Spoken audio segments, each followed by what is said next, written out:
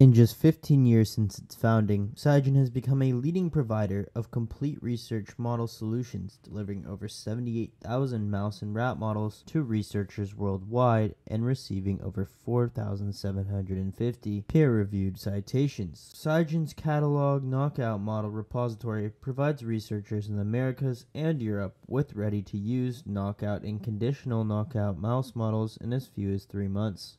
The repository provides over 16,000 gene knockout and conditional knockout strains from which live mice are available to researchers.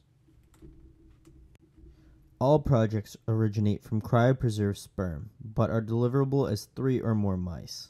Unlike many other similar products, Cyagen's repository is on the pure C57 mouse background, which will help you save a significant amount of time by eliminating the need for backcrossing to your desired background. Cyagen's catalog models are available as searchable listings. In order to see if one of the genes you are interested is on the list, just go to cyagen.com and navigate to the search bar. Then put in the gene name you're interested in and hit enter. Our system will find the most common names for that gene and search our knockout repository to see if that gene knockout model is available. After submitting your search, all relevant models will be shown.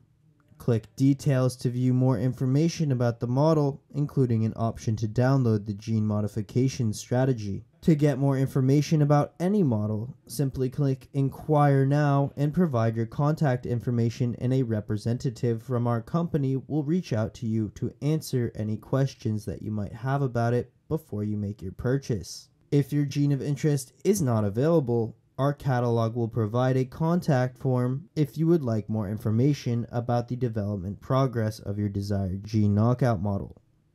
Our repository is constantly growing, so feel free to inquire about the strains of any specific gene knockout or conditional knockout not shown online for more information about pending availability.